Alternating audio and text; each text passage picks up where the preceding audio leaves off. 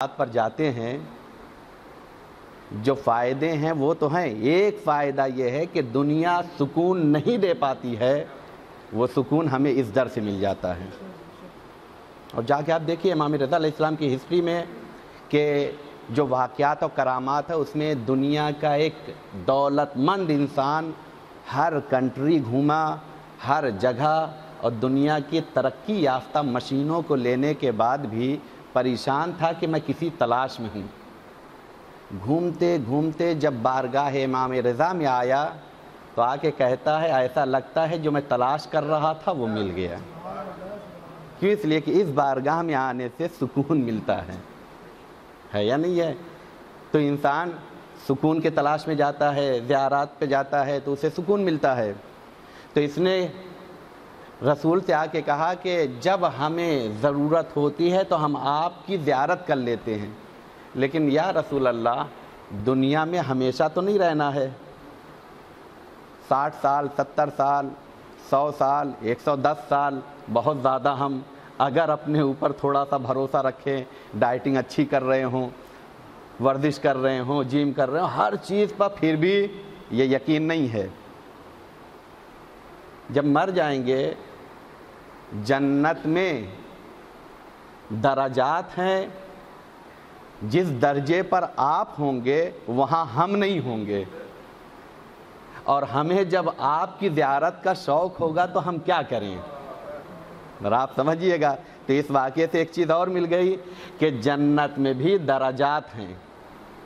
और हम यही तो दुआ कर रहे हैं बीवी से कि हमें जन्नत में जाने के लिए नहीं, क्योंकि जन्नत में जाना ये तो एक मामूली सा अमल है, कोशिश करो, मिल जाएगा। लेकिन बुलंदी दराजात आपके हाथों में है।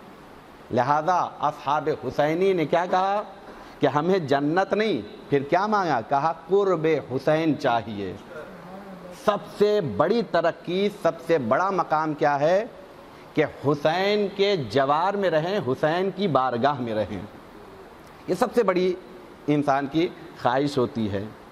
तो इमाम रज़ा इस्लाम की बहन की ज़्यारत में जब हम ये पढ़ रहे हैं कि हमें क्या चाहिए?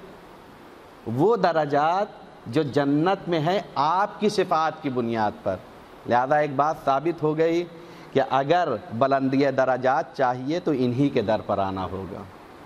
कामयाबी चाहिए तो इन्हीं के दर पर आना होगा। मासूम ने इशारा किया, इमाम रज़ा ने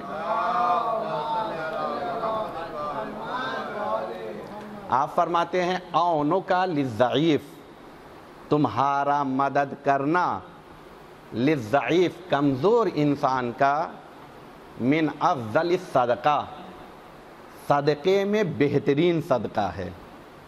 हमारा टॉपिक, सदक़े के बेनिफिट्स और उसके फ़ायदे नहीं हैं, लेकिन इतना मालूम है कि हर बंदा सुबह सदका निकालता है अपने जान माल की हिफाजत के लिए। कहा, जब हम एक छोटा सा मामूली सा सदका, देखें, हम अपने एतबार से निकालते हैं, वरना खुदा की बारगाह में यही बहुत अजीम हुआ करता है। लिहाजा जब हम निकालते हैं अपनी सलामती के लिए तो हम इसी यकीन के साथ तो निकालते हैं कि हमारी जान माल की हिफाजत होगी। कहा, सदक़े से इतना फ़ायदा तो होता है, लेकिन इन सदक़ात में सबसे अफजल सदका क्या है? कहा पैसा नहीं है, बल्कि मदद करना है। लिहाजा मासूम से एक शख्स ने आके कहा कि, मौला, सबके पास पैसा है, ये लोग सदका निकाल देते हैं, हमारे पास पैसा नहीं है, हम इस फजीलत से महरूम रह जाएँ। मासूम ने बताया कि सदक़े का कॉन्सेप्ट सिर्फ़ पैसा नहीं है। कहा, अल्लाह ने तुम्हें बेहतरीन चेहरा दिया है, उस पर उस चेहरे की खूबसूरती है मुस्कुराहट। एक बंद मोमिन से अगर मुस्कुरा के मिल लेते हो, ये भी सदका है। आप सोचें, वो अलग बात है कि आज ज़माना ऐसा हो गया है कि हम हँसते रहें तो अपनों को देख लेते हैं तो हँसी गायब हो जाती है।